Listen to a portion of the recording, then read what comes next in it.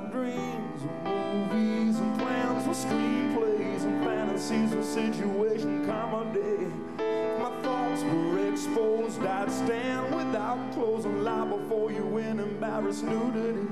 If my mask was unpeeled, the mystery revealed and my secrets disclosed.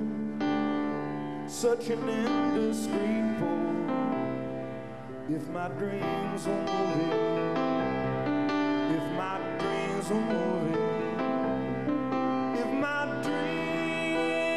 dreams were up on a silver screen.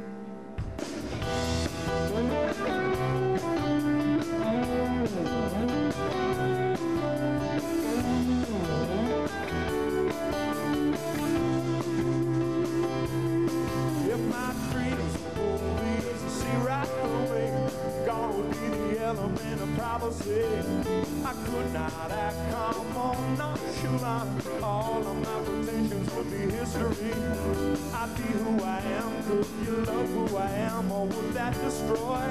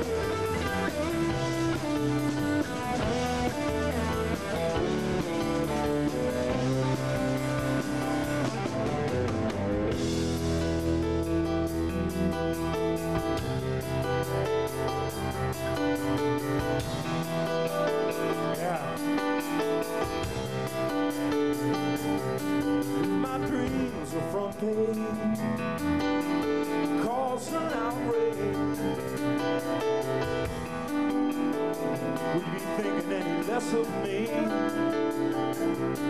if I thought and told, and it was bought and sold?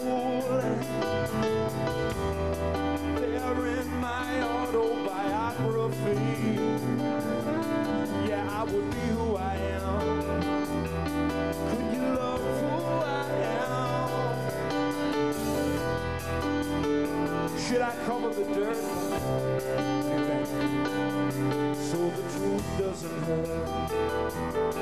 So the truth doesn't hurt.